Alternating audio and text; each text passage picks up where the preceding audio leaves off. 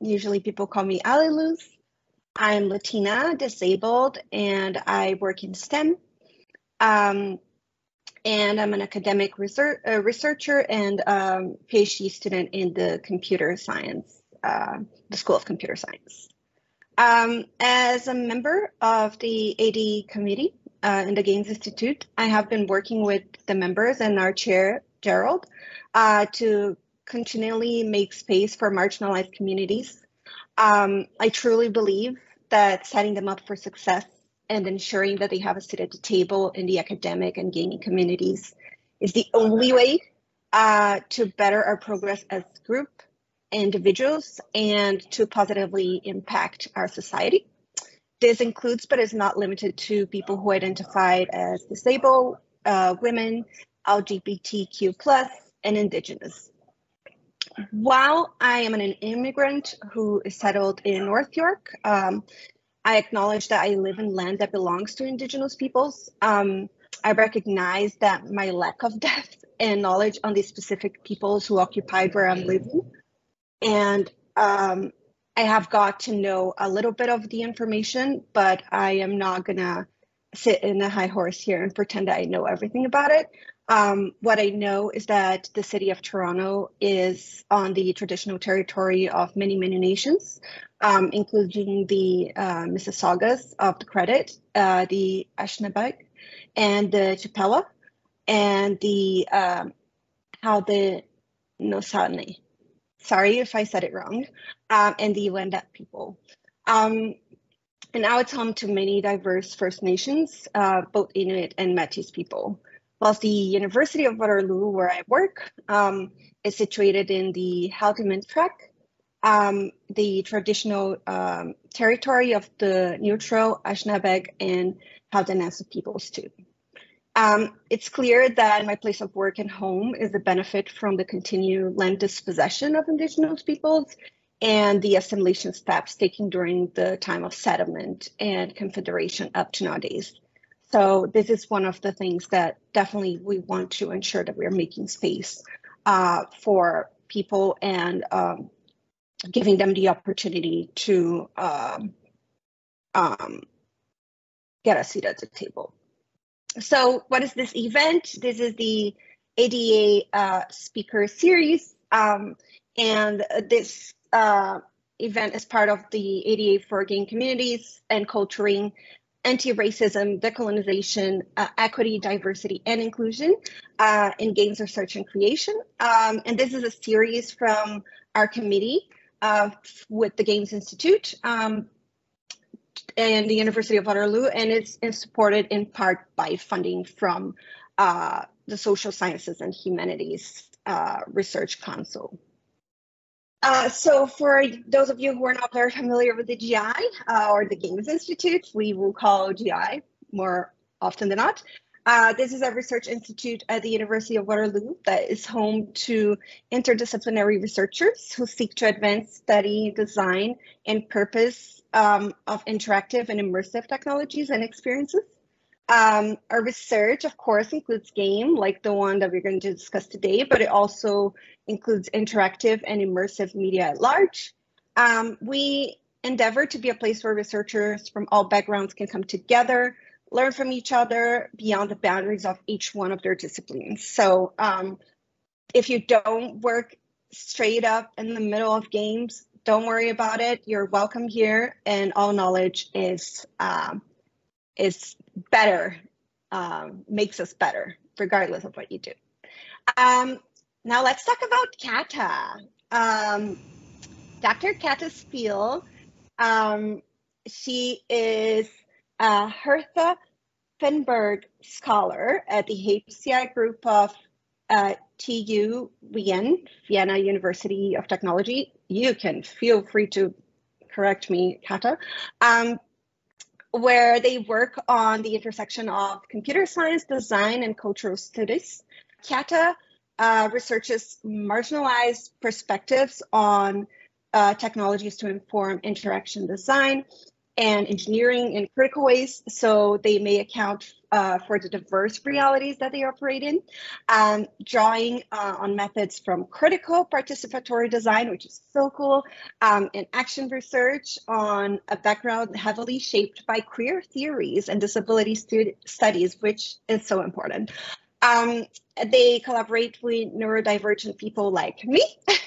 I am neurodivergent as well uh, and non-binary peers uh, in conducting um, explorations of novel potentials for designs, methodological contributions to human-computer interaction, and innovative technological artifacts. So um, now let's uh, get into what Katta has to tell us and be marveled by their work. Okay, ich verstehe schon. Ich muss es hier in Lautsprache machen, weil sonst ähm, versteht mich niemand. Ah, ah, sie schauen immer noch so. Ah, I get it. You need it in English language. So I assume none of you speak any kind of sign language. Also, this was Austrian sign, so it doesn't make a lot of sense. Thank you again for um, presenting me. That's one of the things I said. Um, I wanted you to uh, uh, have an experience there, and that is an experience of access. So what you experienced a little bit, and you also get the slides now because um, now they make actually sense. I just wanted to make sure the signing is visible in case it was relevant to someone. Give me a second. So uh, the point there was um, for you to experience what, what access could mean. Um, so first, uh, I uh, used a mode that uh, I assumed most of you were not really familiar with. Uh, it's a visual language, in that case, Austrian Sign Language, which, by the way, is different than the German one, in case anybody uh, wanted to know. Um, then I started in German, uh, which is a modality, at least, that most hearing people here might be used to, like hearing a voice, but also might have used a little bit of a kind of like, you know, what is happening here? I don't understand what's going on. And when I switched to English, you probably had a moment that I call as an experience of access. Suddenly, things made sense. It was not kind of like difficult to figure out what the situation was, what was happening. You got afforded access. Some of you might speak German. For you, this was happening a little earlier. Um, but uh, what I try to make the point there is that access is afforded in in many cases most of uh, to most of you in ways that you are not necessarily aware of, and it is like for the remainder of this talk also afforded to you in the English language, just so you know. But um, but I, I, just want to point out that it is not always afforded to my disabled peers and myself, and that is why I do work in this area. And I think this is also important for games, and this is why we're talking about where's the fun in doing that, because I ask that question a lot, and you will see why. But first, hello, I'm Katta Spiel. My pronouns are they, them. I am a white non-binary person with giant green glasses and short graying hair that is um, dark brown otherwise. Um, I'm wearing a dark gray sweater. I talk to you from Vienna, which, you know, um, has more of a colonizing history than one of one being colonized. But I do want to acknowledge that it is part of the European Union, which means um, that there is a lot of border control happening that is enforced by Frontex, that is violent towards um, people who want to migrate to Europe. So there's an effectively violent way of keeping people out that we operate, that we exploit to keep our wealth here. Um, so I will be uh, talking a bit about my ongoing work uh, where I try to think about bodies and interaction and in play in a way that includes disabled bodies on a theoretical level, and and on a practical level because I have the impression and and the and that impression is like from my research, um, but I have noticed that it often lacks um, kind of like a consideration at the very basic front. But first, think about how are you right now? Like you have a body.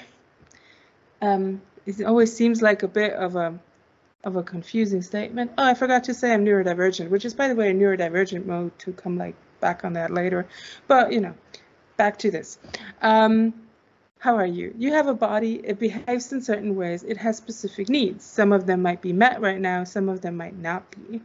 Um, you uh, uh, might just like need a drink or something or um, realize now that you know you kind of like want to get up and like walk around that's all fine i don't care what you do honestly uh, i assume that you listen in ways that are comfortable to you uh, I had three student meetings today, during all of which I was building Lego. My students are used to that. I am also very used to that, that, that sometimes people need to do things, and you're free to follow the needs that you have. I am, by the way, not a core games researcher, at least that's not my kind of identity, despite the name, because Spiel means play or games. Uh, not lost the irony on that. Uh, but I use games and I use playful or thinking through playful things to come to a point or, or like as a as a you know theoretical artifact. So I would argue, I know that play is not always fun, but it is kind of fun we all love doing it in like many kind of like ways. There are consoles, like different kinds of consoles and tangibles and objects and augmented environments. Daniel and I just talked about VR and like so many games. What are your favorite games? Like you can share some and like, you know, then we all have a list as well. Um, there are generally many definitions on play. But, you know, overall, I try to understand it as a self-guided personal interest activity that is, you know, often self-determined, which is also why a lot of games researchers, at least in HCI, come to turn to self-determination theory when they try to look at how people enjoy their games. But when it comes to disabled populations, I have noticed a thing. I've looked at it uh, specifically in the context of games and neurodivergence, and so um, uh, together with Kathrin Gerling, and what we found is, I quote, playfulness as an enjoyable, self-determined, voluntary, fun, and essentially unproductive concept is largely absent for neurodivergent players. Instead, the rhetorical concept of fun and games is exploited for the sake of othering neurodivergent populations further to quote-unquote cure them, to quote-unquote identify them, through diagnosis, to imply that their sociality and knowledge is insufficient, and to use notions of inclusion while pointedly conceptualizing neurodivergent as deviant from neurotypical norms. This comes with fundamental consequences, communicating to neurodivergent people at large, including neurodivergent researchers as peers, and research in this space needs to be careful not to fall into a trap where our existence is undesirable or is rendered as undesirable and abnormal. Which, you know, I can say that more easy. Essentially, why do all the games for neurodivergent people suck, at least in how they are conceptualized as explicitly for neurodivergent people? Not all of them, but there was like, you know, 10% or so maybe, uh, who, who might not have, you know, had that impetus of using games and play as a rhetoric to um, essentially serve some kind of like external or extrinsic motivation goal, um, which you know doesn't go a lot with self-determination. And for a field that is obsessed with self-determination theory, I was wondering how that didn't help understand any of that. Um, that just as a quip. But ultimately, I was wondering why does everybody get to have games for fun or enjoyment or leisure or kind of like, you know, as an activity they'd like to do, why do neurodivergent people then have to do games? Like why is it, why is that rhetoric or that format used to kind of like put in a forced type of interaction? Because it's not nice. So I was trying to figure out more. So from that, I was also trying to figure out what makes play actually interesting and where are bodies in play.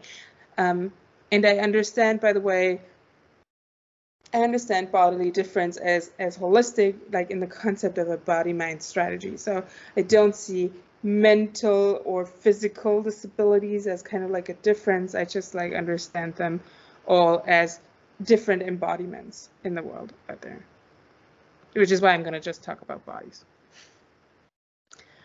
All right. So because play is ultimately always very embodied, because as I said earlier, you have a body. So everything you do is ultimately embodied. It's not like you know, rocket science. Though I did rocket science once um, in during my master's, and it's also turns out to not be rocket science. It was interesting. Anyway, so Kathrin Gerling again and I used the surrogate body theory to understand this a bit better. Um, and so methodologically, we also use the kind of visual analysis to try and figure out where are bodies in play, um, where do they, where are they positioned, how close are they to the artifact, what is happening, what what is kind of like you know the specific aspect, where how are they positioned in kind of different dispositives, so kind of like circumstances, if you may. Um, and just trying to to understand a bit more about the the different qualities uh, and how bodies are kind of like contorted and and positioned within play. And so we use the surrogate body theory, which comes from media studies, particularly film studies, and developed. It has been developed by Christiane Voss, who has been one of my teachers at the Bauhaus University. Um, distilled into one sentence, that theory says that immersion happens when a viewer lends their affective, and that means also emotional, responses to a film by embodying them, by embodying those emotions, and that leads to a metaphorical body that is made up between the intersubjective interplay between viewers and film, and then facilitated through physical and aesthetic distancing. That sounds a bit complex, but because I tried to understand it, I literally went to a drawing board and tried to figure out what this might mean. So where's that surrogate body? It's not literally drawn there, but I, I, tried to kind of like get to the other aspects too. What do people do? And as you can see here, the cinematic dispositive means that people don't do a lot. The effective response can be outward or not, but the screen is also quite far away and you kind of like have to bridge a large physical distance, so to speak, with the embodied reactions are fairly limited by the physical constraints of just the chairs and the seating options and some of the social expectations. Like, I had a seven-year-old ask me very loudly what just happened when someone died. Can imagine, like that's what I mean with like social expectations, or like you know when you when you comment along, that is also usually not positively re uh, received. Um, and so there are limits to what you can do. You have to be quiet, at least in Austria. Maybe it's not that much where you are right now. So I love the theory a bit. Like I, I think it explains a lot about how it's important that we kind of like and how we in in, in have to have that embodied response that is um, affective, that is emotional, but how that is embodied as well, and how how there's kind of like a stepping into a specific kind of body and that creates immersion. It's much more complex than that, but I also don't have unlimited time. Um, encourage you to look it up. Uh, but ultimately, I've also been angry for a few years because there is a one particular footnote in the book, and I can hold a grudge if I want to, but like Voss claims that games and digital media are essentially equivalent to cinematic dispositives. And I was like, that's not true. And then I even argued with her. and then I, you know, six years later wrote a paper. Um, but let's uh, let's talk about how that looks like. Why is that different? So this is a fairly, you know, classic kind of like stereo, almost stereotypical gamer image, where um, someone is at a personal computer setup. I know Kaylee is there, so that's Kearsley. Um, just FYI context. We still have um, a screen here, multiple in fact, but certainly we also have a surrogate body that is located in two positions as players not only lend, this is important, effective responses, but also lend their actions to the game. And given that this tends to be, and at least physically somewhat solitary and private activity, emotional responses can be embodied in more expressiveness. But, you know, if you're being really expressive about it, that might have consequences for gameplay. Because, like, imagine getting real angry or, like, you know, accidentally, like, throwing a coffee cup across the keyboard or, you know, having a response that makes you jaggle your mouse or whatever like because it is all embodied it might have and, and there's an interlope between the emotions and the uh, and the actions you lend that one might you know influence the other. And that plays out differently in different scenarios but ultimately holds across different play dispositives. When we play we lend not just emotions but also actions to the surrogate body. Like we kind of submerge more into that. That is important because certain actions are more or less possible within certain dispositives. And that's not how we think about these. We don't necessarily think about it as like, you know, uh, um, if we if we play with that, um, for example, with the next one, if we play with that, we need to have hands. There we go. So Nintendo Cardboard Wii setup. It was modern at the time.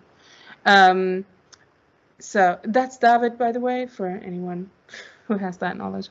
But like um, coming back to like you, you don't really um, you don't really think about like the ex exact things that people need to have or need to like the exact bodies that you imagine having to play with that. You usually um, conceptualize that more implicitly in development, as far as I have been informed. Anyway, coming back a bit to the emotions and actions. So games are a bit different from the cinema because you lend actions as well. And um, it can be hugely diverse across different um, play scenarios, which we can all understand as embodied. But it just also has um, different types of bodily involvement. Like in this case, you do have more more kind of like constrained actions at the same time um, in, in that they are like you know more mapped to a specific meaning. So then when you are at the keyboard, the same kind of like movement can mean different things, whereas there that kind of movement of fishing is only related to the fishing. That's what I mean with like constrained meanings in the actions. So yeah. So bringing the surrogate body theory into play doesn't just mean that we're able to extend that theory, but it also helps us understand more of how bodies play, I think. And there are lots of bodies playing, and we understand bodies in different play contexts and what that might mean more and more, but we struggle to account a bit for that in design. And it's not just a matter of representation, although you know, that is also important. And we've realized that more and more in the last few years. Just want to like, you know, give like little shout outs to Kishonna Gray and Cale Passmore and Sabine Harrer and Bo Ruberg uh, and many, many others who I really value, also Gerald and like, you know, there are so many people working on that as well.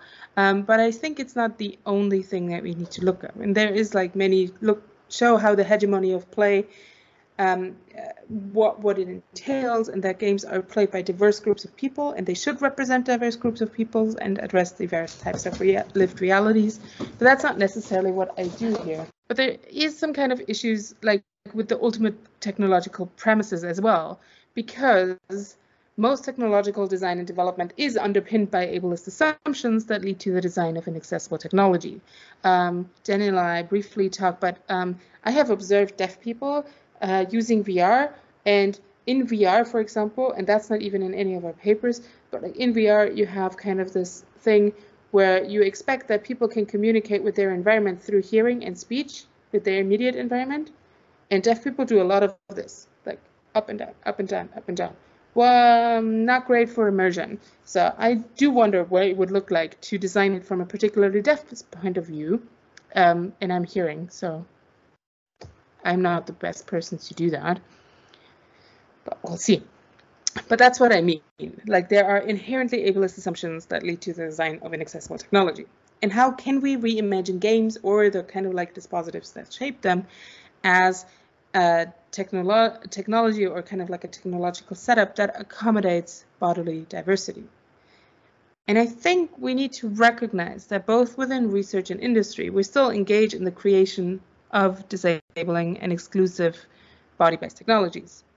And then later we make kind of like that additional effort to patch up a persistent oversight,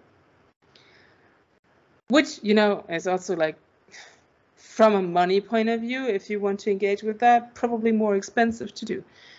Um, it's not my point of view, like no, my main point, but um, it's it's also like in you know exhausting for everyone who kind of like wants to engage, for example, with VR, and then realizes, you know, very different experience. So this suggests that there's a general need to move from a paradigm of kind of like improving for or making accessible for or um, or like kind of like patching that to a perspective of creating with even like not just accounting for the diversity of bodies from the very start of the system development but also placing duty for engaging in this process with the stakeholders who seek to reap the benefits of the systems they design. Because too often we, as as you know, those people who also shape these technologies and kind of like, I know that not everyone at the Games Institute does that, but I'm speaking to kind of like the disciplinary niche that I kind of like operate within. which is human computer interaction. Um, and then too often we act as though we are a bit surprised by the inaccessibility of technology. Well, perhaps we should have been able to draw this conclusion at the very beginning of the design process. And partly this is because we don't understand what a fundamental experience, uh, like how, how access fundamentally shapes the experiences that we make with technologies or that we can make with technologies. And also how that depends on not just like access as such, but also different types of access. So the important thing is kind of like we don't understand how access is facilitated, but um, but it is so paramount to having specific types of experiences with games and like may they be positive or negative then comes like at a second point that is later but like we we first have but how we gain access to those also shapes what kind of things we might have, and bodies play a huge role in that diversity in how that access is shaped. So whether a game is frustrating in a positive and kind of like, you know, failure is engaged with as a positive aspect of kind of experience, um, draws on like, you know, being forced to fail or, you know, getting something out of it. So for example, there are games and this is very personal, but like there are games where I just like, you know, am, am giving up because I notice that I have to do this one kind of um, series of movements uh, and uh, in like a certain type of speed or rhythm and I just don't have the kind of I just don't get it done or whatever and like it, try half an hour and then that is not joyful for me. And then there are games where I'm like you know Isaac if you still know that um, not necessarily a politically very correct game but um, no, but like you know, you have these dungeon crawlers where where you where you know you have to get through, and you kind of like also the game supports you more and more, and it's like clear that you will be able like to at some point just by the buffs you get and all that have an easier time going through. And that is much more enjoyable as a failure. Um, but the point is like you know, both of those are inaccessible. Like in both cases, you don't get directly towards that kind of like, you know, experience of achievement, but one feels much more accessible. And that kind of like shapes the positive experience of failing versus the negative experience of failing, where it feels like there is no way to get around that other than that one specific movement that you might not be able to do. And and part of that is also because there is this kind of um, corporal standard. So we have an expected expected actions in a game that end up also communicating that. So it's kind of like when you're expected to um, to perform these very fast, for example, very fast specific kind of like button presses, you expect that somebody does not have a tremor or has like full hand control. But you're not explicitly sitting there designing like somebody needs to have like, you know, that kind of hand control. It's kind of implicit but it's still communicating a standard, especially to those who um, have found themselves never kind of meeting the implicitly communicated standards. There are different models of disability. Are you all aware of different types of models of disability? No, tell us. so good. well, thanks. I wasn't sure, like, because I also don't want to bore you, and that is easily done. But like, essentially, you can understand disability in different terms, and one of them is being like as a medical difference that needs to be corrected, which is how you end up with a lot of games that try to either diagnose people or kind of like ther- be used in therapy and um, and all these other kinds of things uh, uh, to be, you know, not actually for play, but like for this other type of view. You can also have that with a so-called social model where you're like, okay, there's like disabling experiences from the outside. And that's how you end up with a lot of games that kind of assume that, you know, neurodivergent people need to be taught specific social skills without questioning what those social skills are and for whom. Um, yeah, now a huge fan. And I kind of like, there are more than three models of disability, by the way, but like I, this is to simplify this a bit but I kind of like operate from a model of like um, that is kind of identity and self-determined, identity based and self-determined, where you kind of take up a disabled identity and um, like that is like uh, not completely independent from a bodily status, but like it kind of like assumes um, that there is a way of engaging with a world through bodily difference that acknowledges the difference as a difference, but not as a deviant difference, and acknowledges the role that social environments have to play with it, but more from kind of like, you know, a rights-based perspective, for example. But not, that doesn't just mean um, legal context, but also kind of like, you know, how you interact with your immediate environment and, and what kind of interactions you expect or want to have. Anyway, um, the corporeal standard kind of like is more in the in the in the first one in that kind of medical model where it's um, because you're being thrown back as a disabled person constantly to that notion of like you cannot lend your actions and you cannot lend your emotions um, because the game is just like not prepared to take them from you and like you know not interested in in in engaging with those. That sucks. And you know again if we come back to the money model there are probably lots of people who kind of i don't know buy a game and then realize ultimately that they can't play it and so for the publisher it doesn't matter but i think it matters in terms of like how how we share these really meaningful experiences among each other and how we can relate to them together. And so this is why I'm not in love with money arguments. So, because I am more interested in principles of access and disability justice at play. So specifically, I then encourage developers mostly, but also I think us as researchers, because the question, I mean, I also know that to some extent I'm preaching to a choir here, but like this this whole thinking leads me to the point where we need to start not understanding disability as something that is just like other and different, but something that you know has um, has in and of itself comes with like unique lived experiences and unique types of knowledges and and very intricate ways of cultural comings together where where we you know different things are prioritized and and um and they might even be a source of playful experiences. I still dream of a game where it is actually really, really beneficial of you, where you, um, if you can, uh, if you don't have the capacity to regulate your emotion, uh, not your emotion, your um, your attention necessarily where, where you kind of like encouraged to switch a lot for example and like that will make it easier or more fun for and there are these games out there, but they're not like we're not investigating them as such. We're not looking at what makes a game fun for a neurodivergent person. We're looking at a bit like more like how how can we, you know, find out whether they're neurodivergent, which is not the same. Um, yeah, uh, there was a question regarding the neurodiversity model. I just saw that. The neurodiversity model would follow, so, hmm, get back.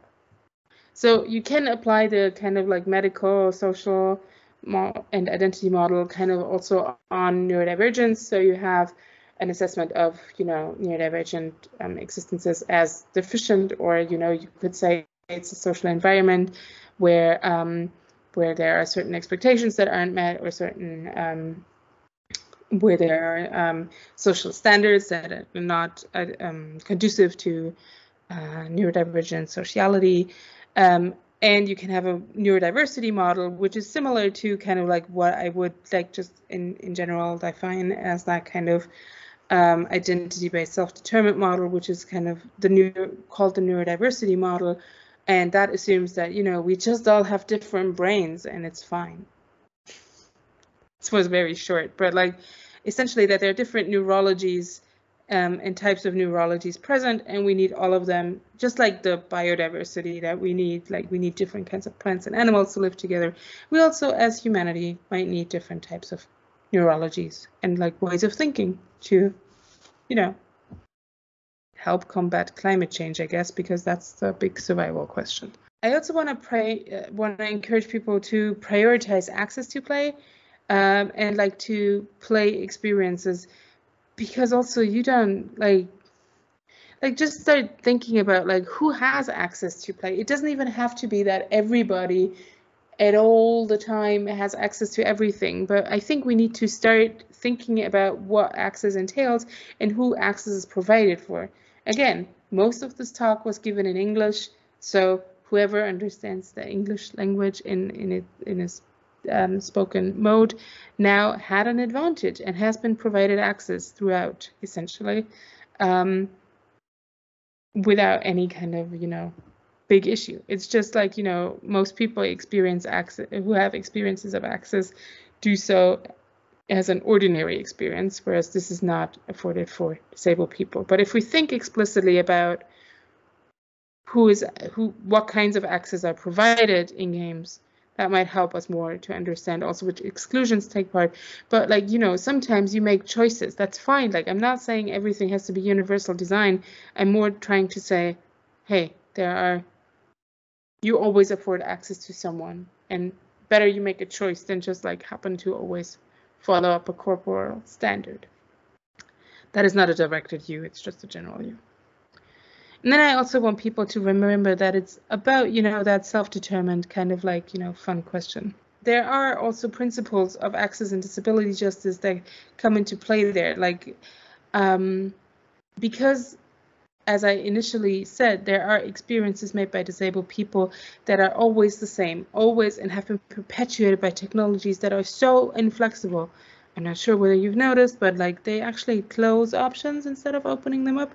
And disabled people are some of the ones who have always noticed like how somehow things were like even less possible sometimes with technology, at least on a wide rollout. No, I'm not talking about assistive technologies that are in some cases really useful and helpful. And I mean, I'm having a sensor on my body that tells me when it's time to eat, so it's good. But like, I'm not against technology. I'm just saying, like, you know, when we say this is like just a general purpose technology, this is always a general purpose that kind of like indicates that some people are included and some are not. And those who are excluded make that experience of exclusion all the time. And my example is just disabled people. And so this is where disability justice comes in because you kind of have to make up for that at some point, or you could decide to make up for that, but that's the next step. First step is to understand who you include and who you exclude, but also who you provide fun for. And then, you know, you don't have to take it that serious. You can just play with that. You can play with it. Access can be fun. Think about different ways of access. This is ultimately very playful because how access is currently also like how practices of access happen right now is all very playful and fun because you know people have to queer things a little bit they have to find and subvert ways of like you know get gaining access to things that um, that um, are not are often fundamentally not made for them. And there is an aspect of like fun and enjoyment in that. And you can just play and appreciate play with that and appreciate the diversity of human bodies and challenge an inaccessible status quo. And look at what individuals needs are in play um, and like how they are independent of and very much attuned to at the same time um, to individual bodies and individual embodiment. Again we love games. Uh, otherwise, we wouldn't research them. Or like you know, we, I mean, okay, maybe I'm assuming too much, but I think games are fun, at least personally, um, even when they're not. Um, I kind of need them in my daily life, but I also think that as societies, we kind of like you know need them, and like we like playing around with things, and that's why we kind of like need to make sure that they're a bit more accessible. Um, and to think about accessing games It's less about the functional things for me, which of course are important, but they're a later step and they're a step of implementation and there are ways you can kind of like follow that up. But um, at first, we need a first step before that. We need to understand that we all have a body, that all of our bodies are different, and that access is afforded to us in one way or another. Um, and that some of this access is like feels ordinary, but is anything but.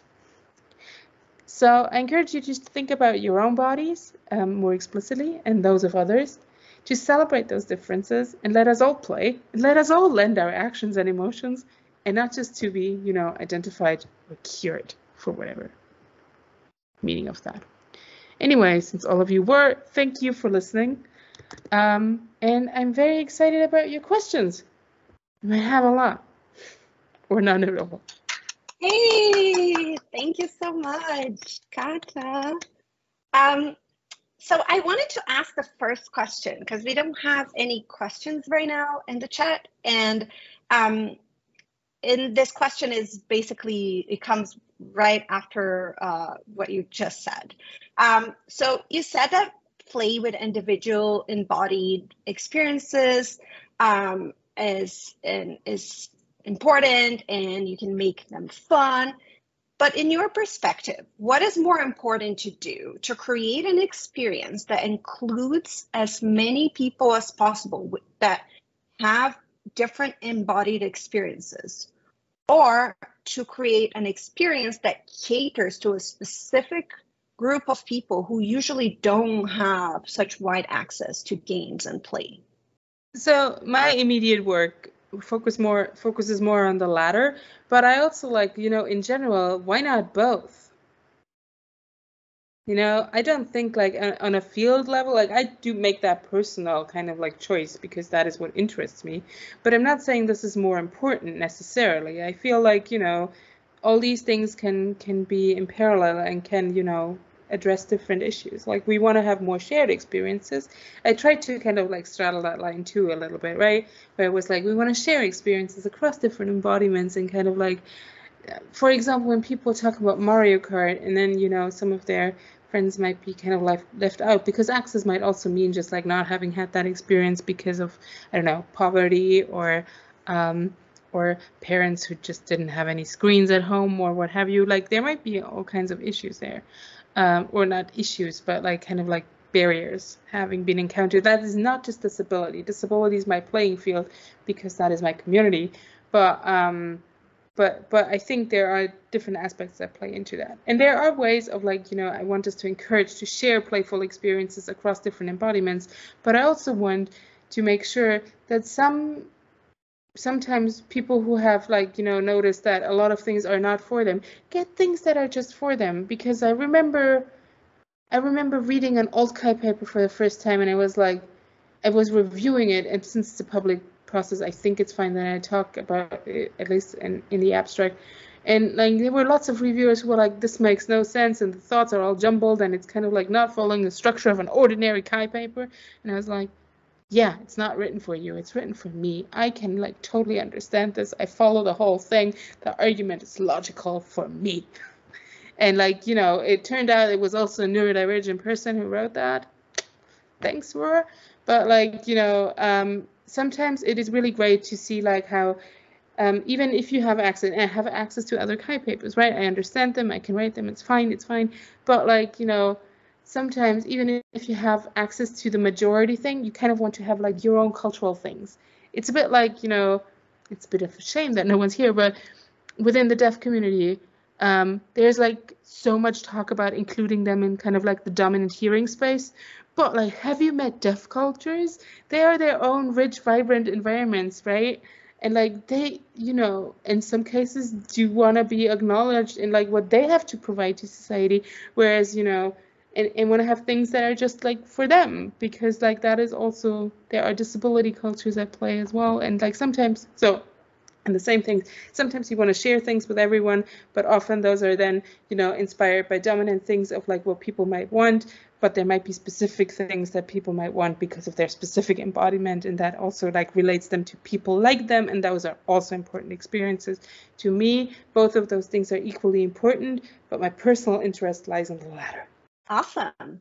Thank you so much. Uh, if anyone has any questions, feel free to raise your hand and ask any questions. The time is now. If you don't do it, I will keep asking questions. Okay, uh, Mara, you can unmute yourself and ask. Okay. Hello, Katta. Thank you for the presentation.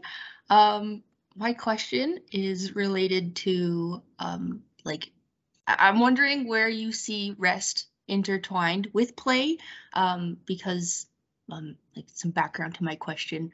Um, I'm doing my thesis on virtual reality and play, um, so and I've been looking at um, like the differences between the kind of the loudest voices that you see in business and that kind of stuff versus um, people building virtual reality experiences in video games like from the margins and like how there's such a difference between the two like the one is focused more on like you said like fixing something or money and like being more productive and like that kind of more capitalist way of thinking. And then on the other side, it's about like community and play and imagination and creativity and all this kind of stuff.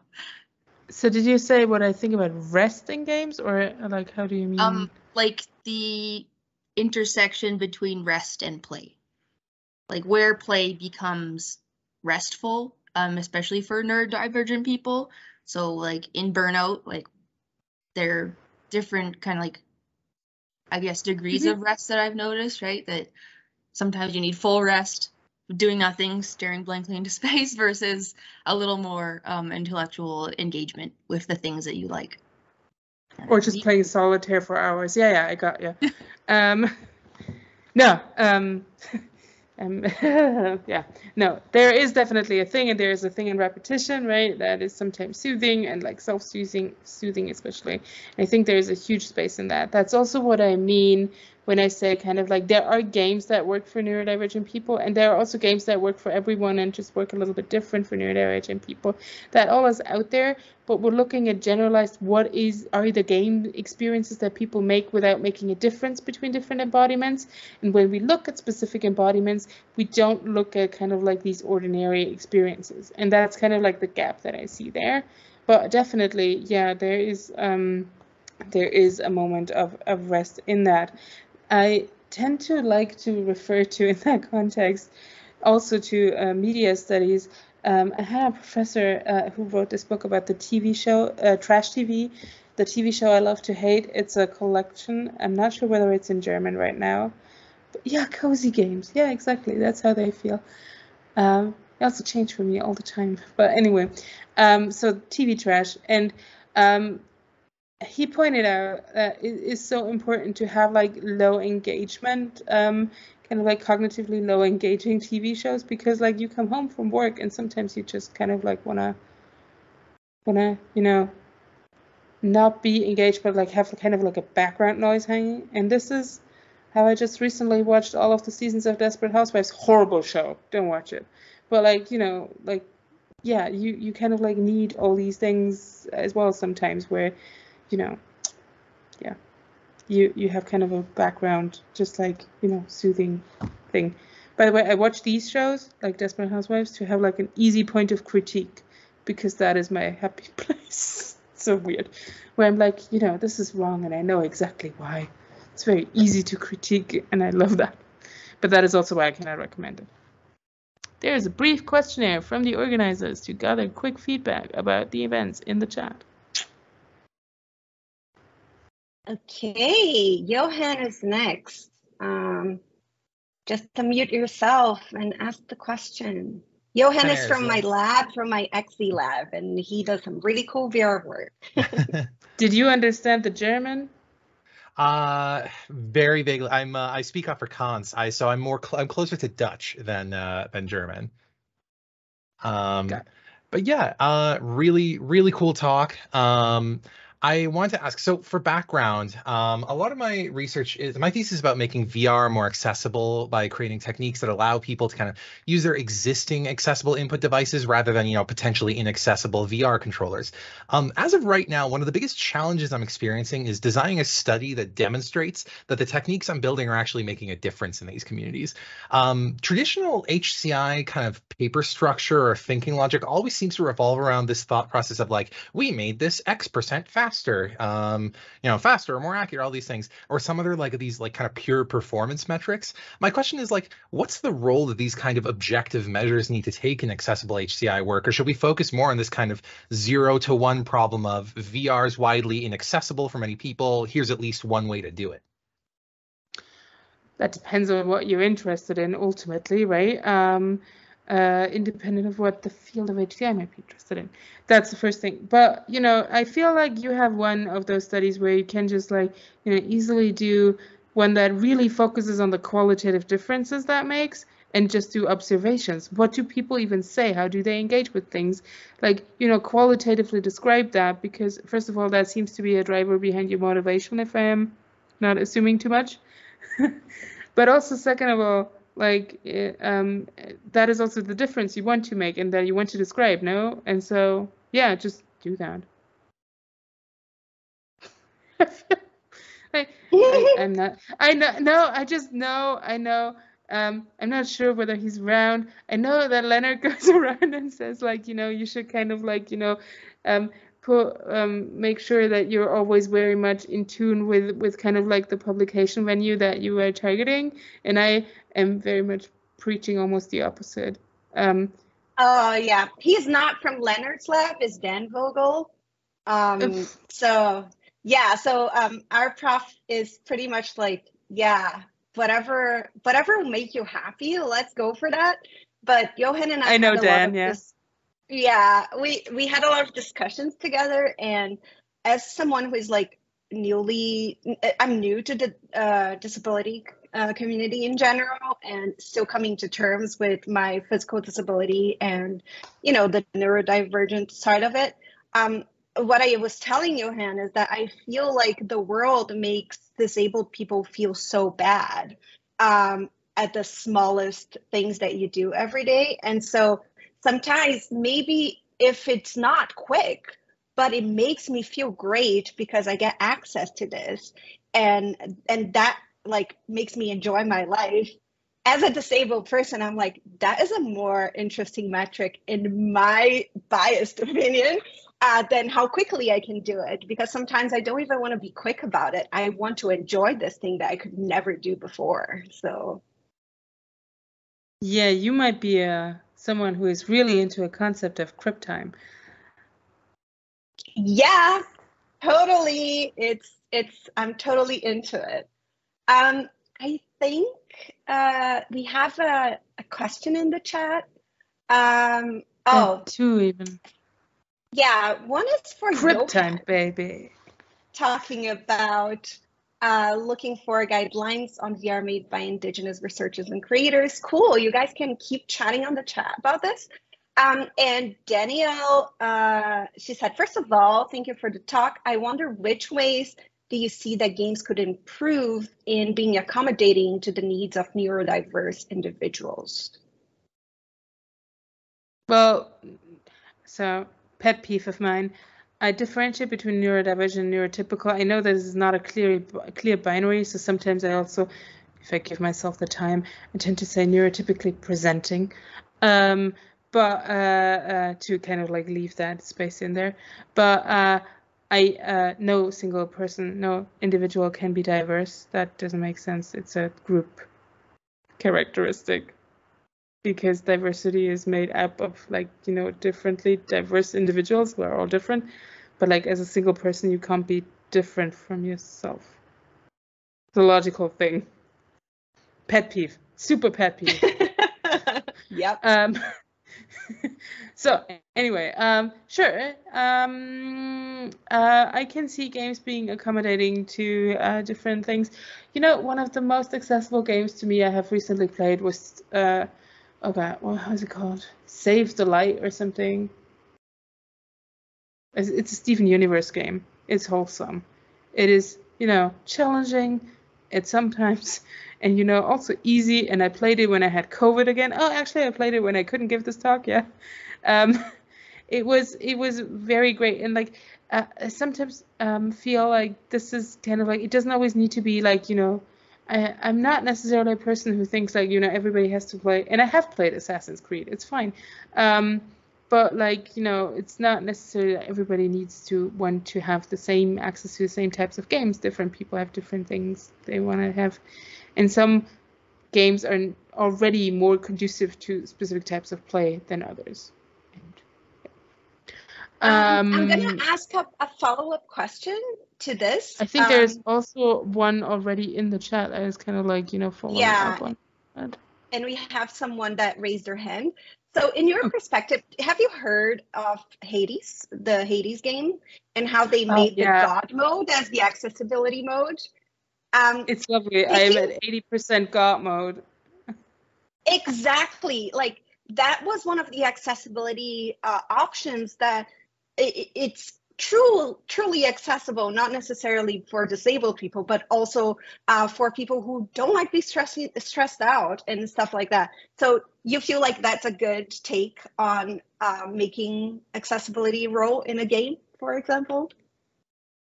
I honestly I love that one because first of all I talked about dungeon crawlers briefly and that would have been such a better example because like that one really really is that game that kind of like plays with that so much because you don't get instant god mode. You still have to go through those failures but you get that clear path of like when it's going to be more you know easier because like you get 2% more god mode every time you fail. And so your failure is rewarded and that's what i want to see. No um like this is just very personal in that regard but i have so many hours on hades. Um we have been playing hades in this a lot. Um can't wait. Like i i also love all the Supergiant games but you know yeah no hades did did it in a fantastic way at least on that regard. I'm not sure how accessible it is on other regards. And I find the graphics sometimes a little bit much, to be fair, a bit overwhelming. Um, but also, it doesn't have to work at every moment or like you know in every context. So yeah. yeah. There was a question Selena on asked books and here, are there any books or other sources you could recommend if we want to learn more about accessibility in design? There's lots. Um, since you are very close to the United States of America, um, there is accessibility in uh, Accessible America, which is a recent book by um, uh, oh god, name starts with B, but like the title is Accessible America. You'll find it. Um, and then uh, there is Aimi Hamraie's work uh, there. I do want to say, just I'm not uh, well. The thing is also like, are you asking accessibility or are you asking access, right? There are like different kinds. Thank you, Kaylee. There are different kinds of principles behind that. But um, so Aimi Hamraie wrote about um, wrote uh, that book is uh, called Universal Access, I think. Um, the reason why I also encourage you to just look into disability culture um, uh, uh, context. Like there is the disability visibility anth- anthology um, for neuro, neurodivergent. Oh, building access. That's how it's called. Yeah, thanks. Um, the one by Aimi Hamraie. Um, there is uh, also um, from from kind of like an artistic uh, perspective on the weight of our dreams there is uh, other books that I like in that context. Of course, Leah um, Lakshmi's uh, uh, disability justice book. There is uh, disability kinship um, things. I'm struggling right now to find something that is not from the U.S., which is a bit sad. Um, at the top of my head. Um, oh wait, there is Jane Golub's work. Um, there's also uh, uh, um, like we're we're going more into disability studies now. But like you know susan wendell's work on um uh on who is canadian? But you know that. You have a list i've been told. Um my partner's canadian. They told me that. Um and uh there's a list of canadian people that canadian people apparently know anyway, so Susan Wendell, um, there is uh, from the UK, Jenny Morris, who also talks about kind of like that rights-based um, stuff. Um, yeah, I mean, you got stuff to read now. I guess Eli Clare, Eli Clare's Brilliant Imperfection is just such a great book that will mean things to you. And if you're, you know, queer as well, there is also Exile and Pride um, and then there's McRuer's Crip Theory. But now there's just like, I'm just telling you all my favorite books, so it doesn't matter anymore. It's not specifically to accessibility and design, but I feel if you read stuff by and from disabled people, you are also getting getting kind of like notions of access, kind of like through that. Thank yeah, you. I actually I actually got a book and I don't know if you ever read it, but um it was it was someone told me that I should get and it's called How to Be Sick. Um, and it's kind of like um, really good for not only for people who are disabled, but also uh, their caretakers uh, and people who struggle with the fact that you're not going to get better. Like this, this is your life now, especially if you weren't disabled before. Um, and uh, that's a that's a really good one. But that is not about disability or design or anything like that. It's about understanding disabled people and I think uh, I agree totally with Katta here is understanding them, their experiences, their barriers, uh, their heartaches, their happinesses. Um, that's the best path to be able to design something meaningful and truly enjoyable to them.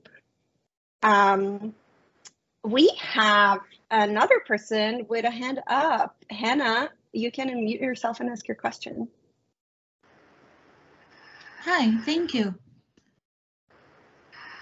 Oh, can you hear me? Yeah, good. Uh, so uh, I'm actually just starting in this field about the researching about the game and disability.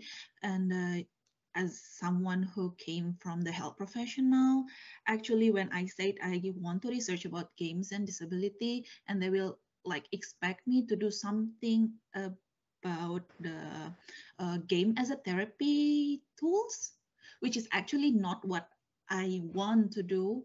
Uh, so I want to be more like on the experience, like playing games as their daily life, like every other people do. So I want these games to be part of the disabled people. I want them to be, uh, I want them to have an access like everyone else have an access to it. But you know, uh, as my surrounding is very medical oriented, they expect me to link this to a, a therapy, therapeutic function as a therapy tools. So do you have some uh, word that can enlighten me to, you know, present this kind of idea or any kind of intersection about this? Well, the thing is, like, uh, I, uh, I mean, okay, I'm gonna do it.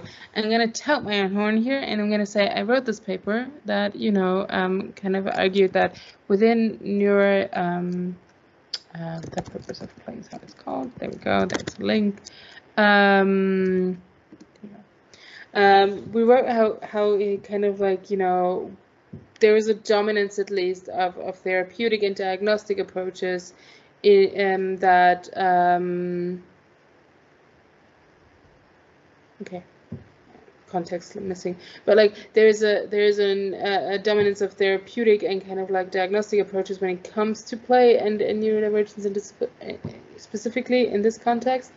Um, and you could just argue that there is a research gap that you know is still relevant towards kind of like a consideration of health because we need to look at health from like you know different perspectives of embodiment as well because different bodies can be differently healthy or like you know we just talked about how to be sick. Kind of like you know difficult in that context of what we understand as that but like you know how to support different people in like having like positive experiences or all that. And you might want to spin it in around that kind of like as that as a research gap as well if you want to kind of reject that a bit.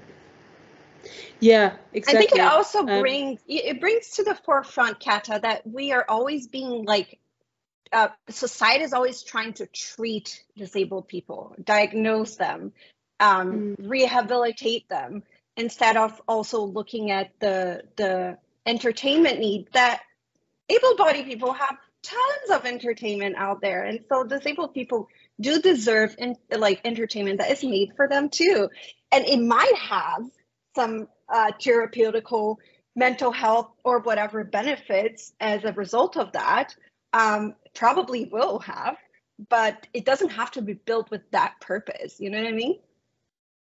I mean, th- that's the thing, right? I'm not against therapies as such. I'm not against um, medical advances. I'm not even against diagnosis. Heck, when I was diagnosed with things, it has always been like such a revelation and like such a way of finding things out. And there are conditions of my embodiment that I have not been diagnosed for 20 years now, and it's like, you know, really difficult to live with. Like, I totally get that as an important part of things that need to be done. I just feel it's weird that it's the only thing that is done, whereas, you know, games and play research has fought so hard to be accepted as you know valid and then why should it only be accepted and valid for specific types of embodiments that is just a question that we need to also ask i think and then there was like the thing about yeah uh, mara wrote they can't remember what the paper was called, but it came to the conclusion that people don't really like to play games they're forced to play. Haha. And fun thing is, so kids define work as things you have to do and play as things you get to do. And it is very weird to me that in a disabled context, games are often something that you have to do, and that takes out all the play of them. Um, we have more questions. So, Aliza, sorry if I said it wrong. Um, uh, they're asking, hey, thank you for the great talk. I was wondering, uh, what do you think is the biggest challenge when it comes to taking uh, the perspectives of people with disability in VR? Also, when it comes to representation of disability in VR, there are mixed opinions about whether people want representation or not. Um, what do you think is a good way to navigate around these differences when making these decisions? Yeah, we have that kind of tendency in design to make decisions that are essentially like, you know, an answer to things. And, you know, disabled people are diverse also in how they engage with their disability. And, you know, um, um, I, I, so uh, I wanted to say I have several disabilities, and so like you know, to some I have a different relationship than to others. Um, yeah, but it's also like you know, uh, uh, most of them I have realized either late in life, um, like uh, I got um, diagnosed with uh, ADHD as an adult, and um, or have uh, acquired, as you might want to say, um, but um, or have like kind of like come up later and so um, I, I, have a very different experience when it comes to that to to some of them. And like i feel it's important that we acknowledge that different people have kind of like different levels of experience with that too. So um, again within the deaf community my current special interest is in sign language. And so i do study to become an interpreter on the side. So excuse me for that example all the time. But um, so the within the deaf communities you have people who are like you know strongly on the on the thing of like this is not a disability it's a cultural difference we just use a different language and all that. Um, and then there are people who are like but you know we are being disabled because the world is so oriented on hearing capabilities and because we're not we're a minority body in that context. Elizabeth barnes if you want to read that. Um, uh, the minority body. Uh, if you also not us ha! Getting there yeah, that we don't need to make like that one decision. People contain multitudes, especially in groups, and um, and it's fine to make like you know one informed decision or another, or you know allow for both. Like make things flexible. Kind of like I don't think there's like one answer. There is also like what is the biggest challenge when it comes to taking the perspectives of people with disability in VR. I guess that you know some people, if I may be so bold and provocative, think the biggest challenge is people who don't identify as disabled and maybe also aren't that much in their everyday life um, kind of, you know, dismiss the perspectives of disabled people. Not because they want to. Often they feel like, you know, they're taking them in and trying to be empathetic, but exactly that kind of empathy stands in the way because they're centering their own understanding of other people's experiences instead of their experiences. Um, and I think that's the biggest, you know, hurdle I guess. Yeah, don't assume that a wheel-bound chair person wants to walk. Go and talk to wheel-bound, you know, chair people. Like, don't don't assume anything. Talk to them, listen to them, and believe them. Because if you don't believe them when when they tell you what they mean, what they want, what hurts them, what gives them happiness, then you, you can't design for them successfully. And to be fair, most of them don't understand themselves as wheelchair bound, but mostly as like, you know, using a wheelchair. I know you can take that. Yeah. Yeah, yeah. I we've do. just I met, do. by the way. It's like not that we've known each other forever or whatever. Absolutely. Uh, there is no problem. I am happy to be corrected. And as I said in the beginning, there are certain things we do because we're expected to do. But before I do them, I also acknowledge my lack of knowledge in certain parts of things so people can come to me and correct me because I'd rather not keep making the same mistakes, right? also, like just um, in, in the intersectionality welding, no, it's not actually. Yeah. Anyway, uh, multitudes of dimensions, very gracefully solved with being corrected on my pronouns. I really like that. Just gonna say that as well. But then I was also thinking, oh, Canada does that really well. Brazilian though, and I'm new to Canada, so I've but been the culture everywhere. there mm, when it comes mm. to multiple genders. That's oh, just yeah. my thing of saying I miss y'all. a little. Ah, just come over then. Don't don't don't waste time missing us. Come over. I might for a few days in uh, summer. Nice. Um, does anyone else have any other questions? Is there anything else that you would like to tell us that wasn't in your uh, presentation and that no one asked you, and you're like, ah, just after having all this chat, I remember this thing that I've seen and it's good, it's meaningful. Not to put you on the spot, but also Th- it. that kind of puts me on the spot. So I'm just gonna say, like, if you all have any other like questions or things you want to discuss or whatever, um, I have learned that I have to say that explicitly. But I do think I am fairly approachable. You can write me an email. I will try to answer it within a specific time frame that I'm not gonna tell you to not raise expectations. But you know, I, um, Danielle is suffering. Um, um, but uh, um, yeah, ultimately, I uh, I do kind of like at least try to be very approachable and like am happy to talk with people about interesting things. And since I'm easily excitable, I will probably find your stuff interesting. Perfect. Um, anybody else has anything else to say? No. So I guess um, we are done for today. Uh, there is the form. Please uh, let us know how this went. Um, we really want your opinions, your perspectives, um, what we could do better, and uh, what we could do differently. Uh, it really matters to us. Um, and uh, yeah, be as ruthless as you want. We want to just make more space and make it better. Thank you so much, Katta. Uh, sorry about my mistakes. I'm learning, but we're on it.